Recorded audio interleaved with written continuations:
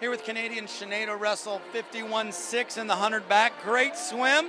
Tell me about your 100 back tonight. Well, the plan was to go out as fast as I could because I generally back half all my races. That's why I'm a 200 backstroker, but I went out and pretty much at best time in my 50 and I had to try and bring it home. Yeah, best time. Best time, and you have the 200 back tomorrow. So you were telling me earlier that uh, you know you can't wait for the 200 back because what's going to happen? I'm really excited for the 200 backstroke because it's what I've been training for for well my whole life. 200s are a little easier for me because I have a really slow stroke rate, and so it's just a lot more fun to do. Got you. So is it crowd? Is, is it just awesome with all these people here swimming in front of all these people? It's exciting to swim in uh, front of all these people. I mean, it gets really loud. Yeah, you know, you know, swimmers are the best athletes, right? And you train so darn hard. So this is kind of nice, right? Yeah, this is this is a breeze compared to what we've been doing.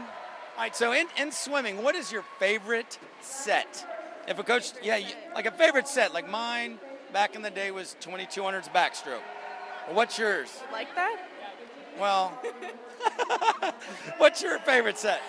Um, probably be 10 100s on 230, going 50 all out kick, and then 10 seconds rest, 50 all out swim.